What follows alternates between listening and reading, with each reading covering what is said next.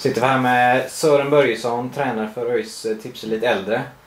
En, eh, en seger mot Degerfors, viktig men eh, satt långt inne. Den satt långt inne. Det var en otroligt händelserik match. Omväxlande fram och tillbaka. Blöta förutsättningar. Regnat mycket. Stora pölar på plan. Många liksom oförutsedda situationer. Men killarna gör det väldigt bra. Starkt att lösa situationen i en pressad situation. Hade en eh, tvåmålsskytt, födelsedagsfirare och nyss uppflyttad till A-truppen, Henrik Karlsson, på planen också.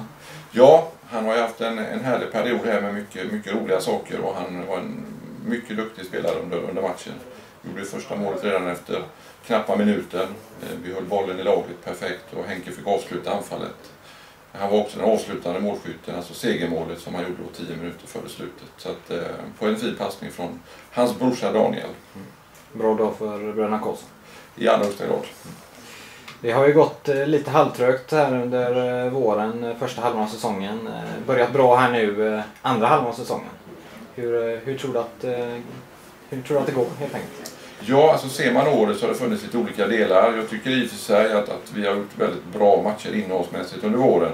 Inte fått så mycket poängutdelning. Däremot under sommaren har poängen ramlat in också och eh, stabiliserat vårt spel. Eh, har hittat en mer, mer ska vi säga, eh, säkerhet i både vårt anfallsspel och vårt försvarsspel. Så att, det känns som att vi absolut är värda de poängerna vi har fått nu. Det ska bli spännande. Nu tar vi oss an flera av topplagarna som kommer här. Så att, ja, vi ser an det med tillförsikt.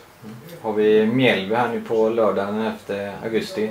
Dubbelmöte kan vi säga också. Det är ju både tips lite yngre och äldre spelar efter varandra mot, mot just Mjällby båda två. Ja, vi gjorde så i våras. Då var vi nere i Mjällby och hade dubbelmöte med dem eh, på det sättet. Och nu gäller det för oss att ta revansch när vi har dem på hemmaplan. Eh, vi äldre laget spelar ju 14.00 här på konstgräset och yngre spelar i pojkarsvenskan 16.00.